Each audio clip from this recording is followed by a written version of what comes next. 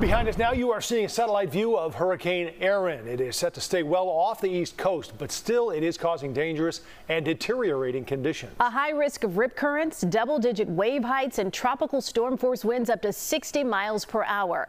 Michael Yoshida is in North Carolina with the message from the National Weather Service stay out of the water.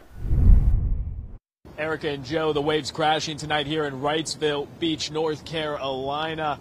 Uh, this one example of the concern officials have had those strong waves, the big storm surge, but also those dangerous rip currents. This beach, one of many up and down the East Coast, with a no swim advisory. Officials saying do the right thing, stay out of the water, hunker down, and prepare for the impacts of Hurricane Erin.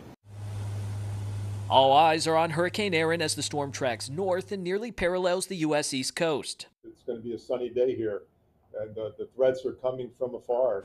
North Carolina is under a state of emergency, and evacuations have been ordered in parts of the Outer Banks. If you've been asked to evacuate, please do so now.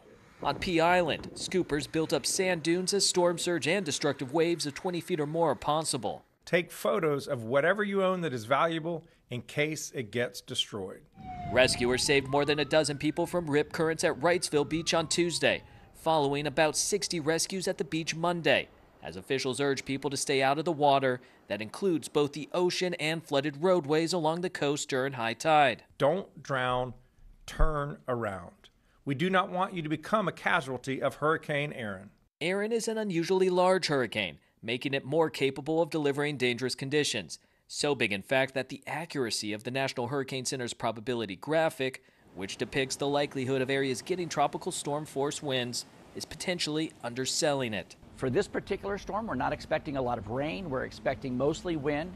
As of Wednesday, Erin's winds were impacting more than 400 miles in the Atlantic Ocean.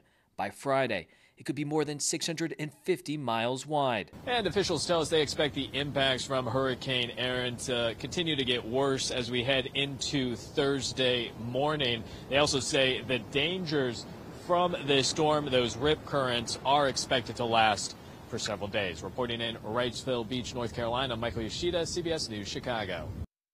Well, our weather here is quiet, but Albert is giving us the latest view of Erin. Yeah, he's tracking where it is right now and just how powerful it is. 10 o'clock advisory just released. This remains a Category 2 hurricane tonight with wind speeds of 110 miles per hour, located 215 miles to the southeast of Cape Hatteras, North Carolina. Rain bands, though, staying offshore. And as you saw from the video, this is mainly going to be a storm surge type of hurricane. As we take a look at the infrared satellite, the thunderstorms continue to blossom right along the eye wall. That's why there's at least a chance that this could get a little bit stronger before it moves away from the United States late tomorrow into Friday and moves into cooler waters in the North Atlantic as we head towards the weekend. Right now, places like the Outer Banks of North Carolina dealing with the worst of the storm surge tonight into tomorrow, two to four foot storm surge. But notice the storm surge forecast goes all the way to the Jersey Shore where they could see one to three foot storm surge. Tonight, a little bit of that tropical storm force wind field brushes against North Carolina and then it begins to pull away by tomorrow morning. Back with your local forecast, including a taste of fall in the seven day coming up. See you in a bit, Albert. Thanks.